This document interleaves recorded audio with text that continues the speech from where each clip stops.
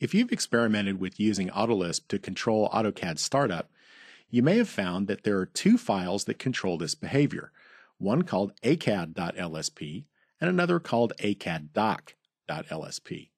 The key difference between these files is that acad.lsp loads only when AutoCAD starts, but acaddoc.lsp loads for every subsequent drawing. So if you have multiple drawings open, there's a difference in how AutoCAD will start based on these two files. What I want to do in this segment is to show you how you can use a system variable that is called acad.lisp as doc. I've pulled that up here in the Autodesk Exchange help system.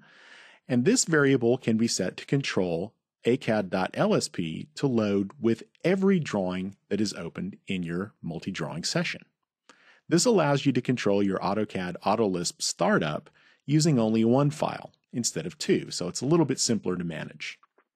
The first thing that has to happen is you have to go into your support search path, you have to add a directory where your acad.lsp file will reside.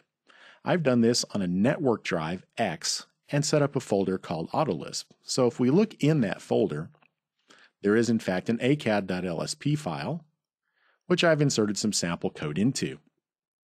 I've chosen to suppress my expert system variable, setting it to 1, so this will turn off some of those nagging are you sure type prompts. I'll set my view resolution to 5000 by default, and I'll make sure that a layer called objects is actually created and set to be current. So every time AutoCAD starts, it loads this file. So if we hop back over into the drawing environment, I expect to see a layer called objects that exists and is current, and, and sure enough, it is. But what if I were to create another file, a new drawing file, which would be drawing 2 in this particular case? Let's have a look at how that occurs. So we set up a new drawing file, we use the default template, and we actually are prompted about the status of this ACAD Lisp as doc system variable.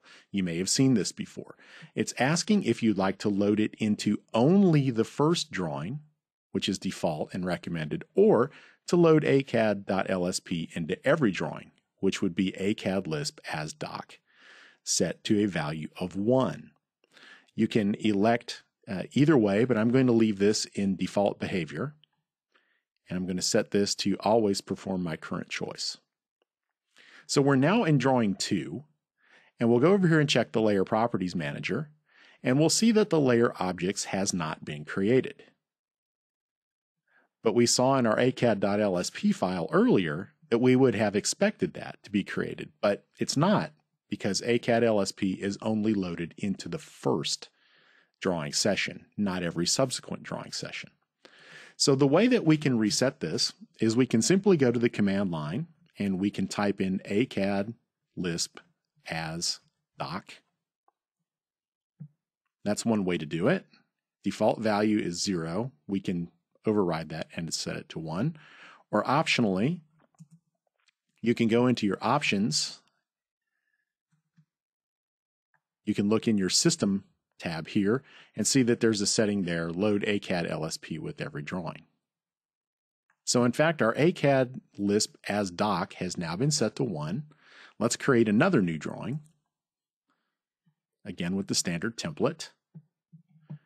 And this time in drawing three, we're going to see that the objects layer has in fact been created, and that's because acad.lsp is now being loaded with every new drawing session. So now you've got a way to completely control your system startup and every subsequent drawing startup using just one file with no more need for the acad.doc.lsp file. That's a neat trick. Put it in a network directory and you can control how everyone around the entire enterprise starts up their AutoCAD with just one file. Good luck.